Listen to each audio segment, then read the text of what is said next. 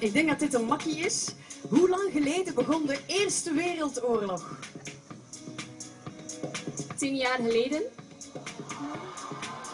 Oh nee, nee, dat was even repeteren. Nu gaat ze het echt zeggen.